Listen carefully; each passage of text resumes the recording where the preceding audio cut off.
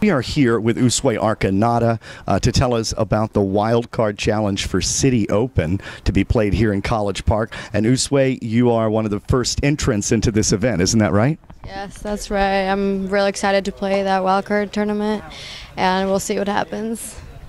So I was lucky enough to be a fan to see you win your first WTA qualifying match in Washington at the Citi Open. You already know those courts, and uh, you know these courts here at the Junior Tennis Champion Center. Uh, do you like your chances of getting back to Rock Creek Park this summer? Um, yeah, I train here every day, so I know the course pretty well, and it was a great last year playing at the Rockville. So we'll see what happens. I guess. So, what was that experience like? That great weekend uh, in Washington with you and Coach Frank Sal- Salazar. It was really good. I was really happy that I won my first WTA match there um, here in Washington D.C. It was a great experience with my coach and all the other players that were went to watch me.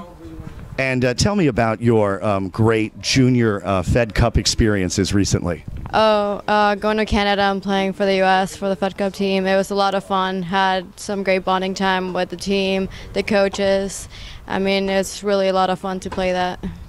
That's wonderful. And um, again, I saw you a couple of weeks ago at the Junior Tennis Champion Center's Kids Tennis Festival, and uh, you seemed so patient with the kids. Um, what is it uh, that, that drives you to help uh, those younger than you?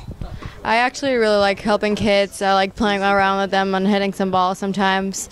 It's just a lot of fun seeing them play tennis and enjoy the sport because that, that was me like a, a, 10 years ago, I guess. So I just wish they would try to become the best they can in the sport. And last question. Last year, you told me that you had some jitters the night before your first qualifying match. You ended up playing Xbox, I think, with Francis and others. Um, do you think you'll have any such jitters this year if you hit the courts at Rock Creek? Yeah, probably do the same thing. Keep keep it going. So probably play some Xbox and relax with uh, my family or my brother and everything. It worked last time. Yeah, it did. It worked. So probably doing it again if it happens. Usue Arconada, thank you so much. Thank you.